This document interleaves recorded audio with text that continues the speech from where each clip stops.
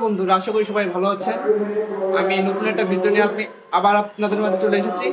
হয়তো অনেকে আছেন যে চা খেতে পছন্দ করেন, চা প্রিয়। অনেকে আমাদের যশোরে কিন্তু মানে মটকা চা খেয়েছেন। কিন্তু আমরা পুরোটাই ভিন্ন। আমাদের রেসিপিটা পুরোটাই ভিন্ন, আমাদের মটকা চা না। অনেকে হয়তো ভাববে, মাটির খুঁড়ি দেখে ভাববে, অনেকে হয়তো মটকা চা। কিন্তু আমাদের আমাদেরটা মটকা চা না।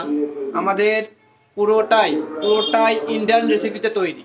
ইন্ডিয়ান রেসিপিতে তৈরি এবং চার পাতি থেকে শুরু করে চার সমস্ত মানে কোয়ালিটি তারপরে পাউডার যেগুলা লাগে আর কি ম্যাটেরিয়াল আমি বলব নাকি সে জিনিসগুলা, কারণ ওগুলো একটু হাইট রাখাই ভালো।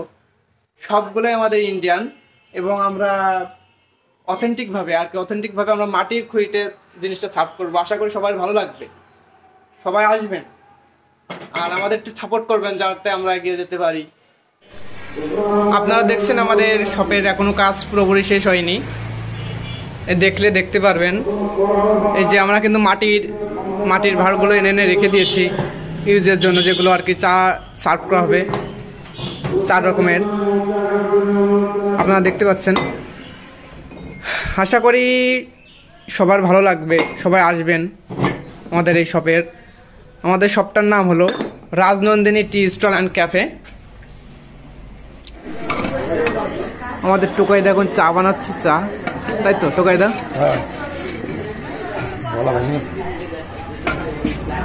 এটা হলো আমার চায় আমাদের চায়ের রেসিপি আমাদের চাতে সর্বপ্রথম আমরা একটা ক্রিম ইউজ করি।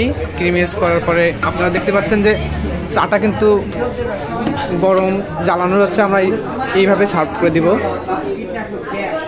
আমার ভয়েসটাই তো একটু কম শোনা যেতে পারে, কিন্তু তাতে কোনো মানে ভয়েস রেকর্ডার আমি ইউজ করি নাই, তার জন্য একটু সমস্যা হতে পারে। আপনারা একটু ভলিউমটা বাড়িয়ে নেবেন।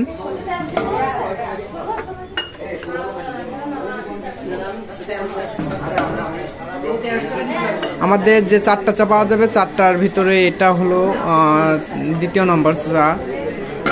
চার, আমাদের চারটা খা মানে চারটা কাপে আমাদের চা করা হবে।